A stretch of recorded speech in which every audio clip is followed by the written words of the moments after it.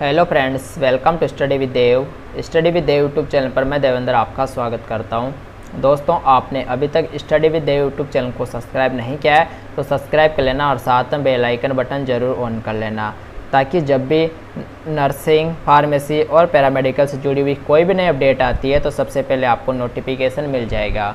दोस्तों, इस वीडियो में हम बात करेंगे आर यू एच एस जो बी एस सी नर्सिंग होता है आर नर्सिंग बीएससी नर्सिंग का जो आपका सिलेबस है, उस सिलेबस के बारे में बात करेंगे और बेस्ट बुक आपके लिए कौन सी रहने वाली है, उसके बारे में इस वीडियो में बात करने वाला हूँ। तो वीडियो एंड तक ज़रूर देखना और वीडियो आपको अच्छा लगता है लाइक ज़रूर करना शेयर ज़रूर करना। क्योंकि कल मैं क्लास ले रहा था तो क्लास लेते टाइम मैक्सिमम स्टूडेंट्स का कमेंट आ रहे थे कि सर आप गलत पढ़ा रहे हो क्या?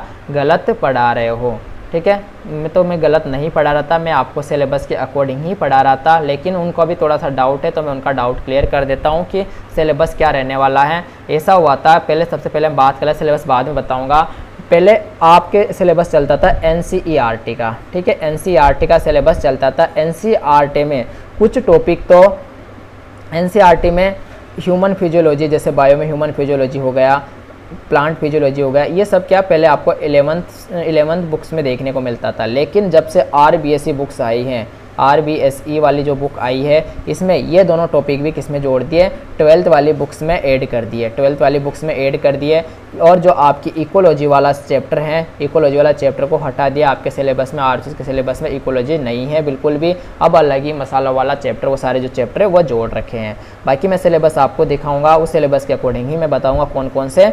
रहने वाला। तो आप चलिए ऑफिशियल वेबसाइट पर सिलेबस देख लेना। अब कोई किसी का डाउट नहीं होना चाहिए। मैं लिंक डिस्क्रिप्शन दे दूँगा सिलेबस की कि क्या सिलेबस रहने वाला है। बट अब किसी का कोई डाउट नहीं होना चाहिए कि सिलेबस आप गलत बता रहे हो। चलिए, मैं ऑफिशियल वेबसाइट पर सिलेबस दिखा देता हूँ। एडमिशन वाले सेक्शन पर जाना है। उसके बाद नर्सिंग पर करना है क्लिक क्लिक करते हैं तो हमारे पास नेक्स्ट पेज खुलकर आता है। इसमें जैसे अपन स्क्रॉल डाउन करेंगे तो ये 2020-21 का जो सेशन है नर्सिंग का, उसके अकॉर्डिंग ही खुला रहेगा। थोड़ा सा स्क्रॉल डाउन करने पर यहाँ नज़र आएगा अपन को online application link for BSc nursing तो इस पर करना है क्लिक क्लिक करने के लिए आपको क्लिक करने के बाद यहाँ सिलेबस मिल जाएगा। अब आपको मैं बता दूँ, आपके लिए बेस्ट बुक की पहले बात कर लेते हैं। तो बेस्ट बुक अपनी आ रही है स्टडी विद देव की जो बेस्ट बुक है, वो आपके लिए बहुत ही बेस्ट रहने वाली है। आप अरिहंत की बुक्स या किसी अदर बुक से पढ़ोगे तो वो ऑल इंडिया नर्सिंग के अकॉर्डिंग है। आर एच एस के अकॉर्डिंग वो सिलेबस बिल्कुल भी नहीं है। आर एच एस के अकॉर्डिंग बिल्कुल भी नहीं। आर एच एस के अकॉर्डिंग कौन सा स्टडी विद देव वाला स्टडी मटेरियल है जो आपका, वो बिल्कुल आर एच एस के अकॉर्डिंग है। अब इसको आपको खरीदना कैसे? खरीदने के लिए मैं बाई बुक के लिंक नीचे डिस्क्रिप्शन में दे दूँगा। या फिर अभी ओनली बायो और फिजिक्स की बुक्स ही अवेलेबल हैं, बाकी केमिस्ट्री और जो एमसीक्यू नोट्स होंगे वो जल्द ही आपके लिए आ जाएँगे, ठीक है? दो बुक्स आपके लिए अवेलेबल हैं, इनको खरीदने के लिए लिंक डिस्क्रिप्शन में मिल जाएगा। प्राइस मैं आपको बता देता हूँ, यदि आप ओनली ओनली बायो बायो खरीदते बायो बुक खरीदते हो बायो बुक खरीदते हो तो कितने की पड़ेगी बायो बुक एक सौ नब्बे रुपये की पड़ेगी। ओनली आप ओनली आप बायो ई बुक यानी कि बायो ई बुक खरीदते हो। आप ई बुक खरीद लोगे, लेकिन ई बुक में ये है कि आप उसे डाउनलोड नहीं कर पाओगे ओनली उसको आप आप उसको फ़ोन में देख सकते हो, उसको डाउनलोड नहीं कर पाओगे, कहीं से नहीं कर पाओगे, कुछ भी नहीं कर पाओगे, उसकी प्राइस है नाइन्टी नाइन रुपीज़ तो आप बायो ई बुक भी खरीद सकते हो, और आप क्या खरीद सकते हो बुक भी खरीद सकते हो, जो ये प्राइस रहेगी। यदि आप ओनली फिजिक्स खरीदते हो, क्या खरीदते हो? Only physics only physics book खरीदते हो? क्या बुक? बुक की बात है ई बुक की बात नहीं, बुक खरीदते हो तो डेढ़ सौ रुपये फिजिक्स की बुक की प्राइस है। और आप अगर ओनली फिजिक्स की ई बुक खरीदते हो तो उसकी प्राइस कितनी रहेगी? Sixty nine rupees e book की रहने वाली फिजिक्स ई बुक की है। और मान लो आप bio book bio bio plus physics books दोनों खरीद लेते हो, दोनों साथ में खरीदते हो तो आपको ये दोनों पड़ने वाली है तीन सौ रुपये की। विद शिपिंग शिपिंग चार्ज भी इसमें, इसी में होने वाला है, इसी में रहने वाला है। आपका शिपिंग चार्ज भी तीन सौ रुपये के अंदर ही रहेगा और आपके घर तक पहुँचा दी जाएगी। लगभग मैक्सिमम स्टूडेंट्स की बुक्स घर पर पहुँच चुकी है, जिनकी नहीं पहुँची होगी, उनकी भी एक दो दिन में पहुँच जाएगी। तो जिन स्टूडेंट्स ने ऑर्डर किया था वो सभी अभी से लग जाइए तैयारी में, उनके लिए डेली फिजिक्स की क्लास स्टार्ट हो ही चुकी है। फिजिक्स क्लास में इतना ज़बरदस्त पढ़ाया जा रहा है कि आपको कई बार पढ़ने की ज़रूरत नहीं है और बायो फिजिक्स दोनों की बुक्स आप तीन सौ रुपये में मंगा सकते हो घर पे। और ई बुक अगर फ़ोन फ़ोन से पढ़ना चाहते हो, उसको डाउनलोड नहीं कर पाओगे, मैं पहले बोल रहा हूँ, ना ही उसको प्रिंट कर पाओगे आप, जो ई बुक आपको पीडीएफ मिलेगी, उसको ना तो पीडीएफ डाउनलोड कर पाओगे, ना ही आप उसको अपने किसी फ्रेंड के साथ शेयर कर पाओगे। ओनली उसको फ़ोन में अपने एक ही ईमेल आईडी से पढ़ सकते हो, दूसरी ईमेल आईडी चेंज होने पर आप उस बुक उस पीडीएफ को नहीं ओपन कर सकते। तो ये आप ध्यान रखना, अगर ई बुक खरीदे तो सोच समझ के खरीदना, और बुक खरीदे तो आप खरीद सकते हो, आपके घर तक पहुँचा दी जाएगी। ठीक है? दोनों बुक्स बहुत ही बेटर रहने वाली है। हमारी फिजिक्स की बुक्स की सबसे बड़ी स्पेसिक बात यह है कि आप उस बुक्स को खरीद लेते हो और हमारी क्लासे ले लेते हो।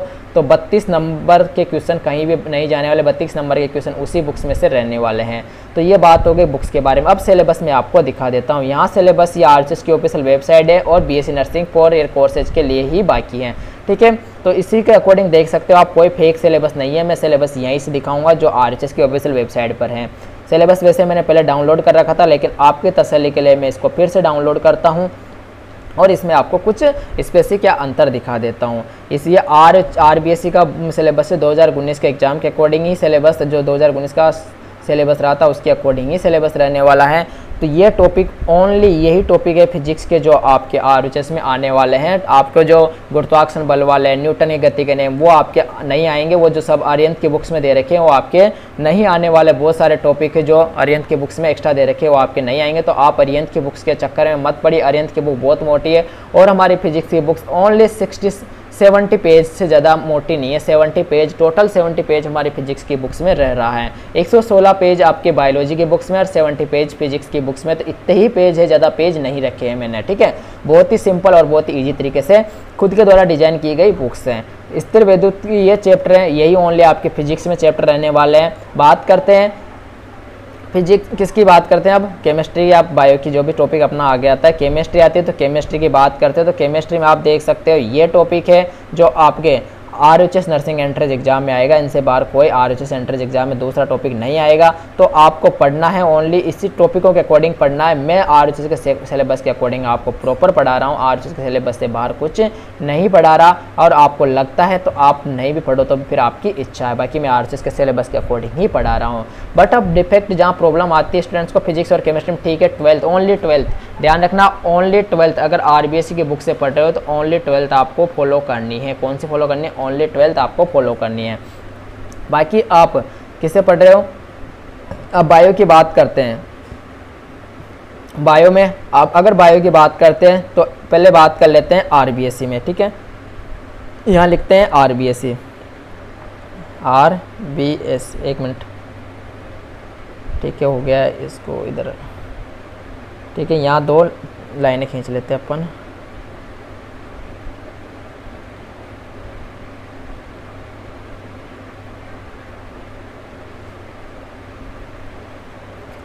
ठीक है गया। तो यहाँ पे ये ये हैं आर बी एस सी क्या R B S C R B S C syllabus के अकॉर्डिंग ठीक है? और ये एन सी आर टी के अकॉर्डिंग ठीक है? आपको एन सी आर टी से पढ़ते हो बायो में तो कौन सा टॉपिक कहाँ पढ़ने पड़ेगा? तो ये है पादप, और ये पढ़ना पड़ेगा आपको ट्वेल्थ की R B S C books में। ये भी आपके ट्वेल्थ की R B S C books में ही है। पादप कार्य की दोनों, यानी कि प्लांट फिजियोलॉजी ये कहाँ पढ़ने को मिलेगा आपको? ये पढ़ने को मिलेगा आपको ट्वेल्थ की आर बुक्स में और एलेवंथ की एन में। एलेवंथ की एन में आपको पढ़ने को मिलेगा। जैव प्रौद्योगिकी यानी कि बायोटेक्नोलॉजी बायोटेक्नोलॉजी आपको पढ़ने को मिलेगा। ये भी ट्वेल्थ की आर बुक्स में और ये भी ट्वेल्थ की आर बी एन बुक्स में दोनों में मिल जाएगा। ये टॉपिक है आर्थिक वनस्पति विज्ञान एवं मानव कल्याण तो ये टॉपिक आपको कहाँ पढ़ने को मिलेगा? ये पढ़ने को मिलेगा आपको ट्वेल्थ की आर ओनली ट्वेल्थ के आर सी में एन टी में ये टॉपिक नहीं है। किसमें नहीं है? एन में ये टॉपिक नहीं है, जो आर के सिलेबस में टॉपिक नहीं है। ह्यूमन फिजियोलॉजी दोनों चैप्टर दोनों इकाई जो किसमें पढ़ने को मिलेगा आपको? ट्वेल्थ की आर में पढ़ना पड़ेगा और एन के eleventh R B eleventh books में पढ़ना पड़ेगा। यानी कि ये प्लांट फिजियोलॉजी और एनिमल फिजियोलॉजी दोनों किसी में है। ये इलेवंथ के एन में एन में तो वैसे आर बी से पढ़ते हो तो ट्वेल्थ में आपको सब मिल जाएगा। ह्यूमन एम्ब्रोलॉजी चलो ये ट्वेल्थ में ही पढ़ने को मिलेगा आपको आर में भी और एन में भी। इसमें पढ़ना पड़ेगा। जेनेटिक्स जेनेटिक्स का आपको पता है इसे कि ये भी ट्वेल्थ में ही पढ़ना पड़ेगा और ट्वेल्थ ही एन में आपको पढ़ना पड़ेगा। मानव कल्याण एवं डिज़ीज़ वाला जो चैप्टर है, इसमें कुछ चैप्टर कुछ ये एक चैप्टर आपको मानव जो डिज़ीज़ वाला है, वो वो, इसमें ये तो पूरा तो पूरा का पूरा चैप्टर तो आरबीएससी में मिलेगा, लेकिन इसका हाफ़ चैप्टर मिलेगा आपको एनसीईआरटी के ट्वेल्थ में। ओनली डिज़ीज़ के बारे में मिलेगा, ना कि पूरा ऐसा मिलेगा कि जो इसमें मशीन वगैरह के बारे में दे रखा है, वो सब कुछ आपको देखने को नहीं मिलेगा। तो आपको कुछ नहीं करना सिलेबस आरएचएस के लिए आपको बस बुक्स खरीद लेनी है। आरएचएस नर्सिंग एंट्रेंस एग्ज़ाम के लिए आप खरीद, करना चाहते हो, तैयारी तो बुक्स खरीद सकते हो। बत्तीस नंबर आपके फिजिक्स के कवर में करवाऊँगा फिजिक्स के और बायो की रही बात, बायो की बात रही तो बायो में भी बत्तीस नंबर कवर करवा देगी। हमारी बुक इतनी इंपॉर्टेंट है आपके लिए। तो ये छोटा सा अपडेट और वीडियो था जो आपको बहुत ज़्यादा परेशान कर रहा था। उसके ऊपर मैंने वीडियो बना दिया। सिलेबस का वीडियो क्या है? तो सिलेबस का यही वीडियो रहने वाला है। तो आप सभी अपने, सभी फ्रेंड्स में ज़रूर शेयर कर देना और आपने भी नहीं देखा हो तो आप एक बार दोबारा से देख लेना और समझ लेना इसको। मिलते हैं नेक्स्ट वीडियो में और क्लास ज़रूर लेना। तीन बजे जो क्लास होगी फिजिक्स की, वो ज़रूर अटेंड करना। फिजिक्स की तीन पी तीन पी पर आपकी डेली क्लास होती है। फिजिक्स की उसको ज़रूर अटेंड किया करो। धन्यवाद।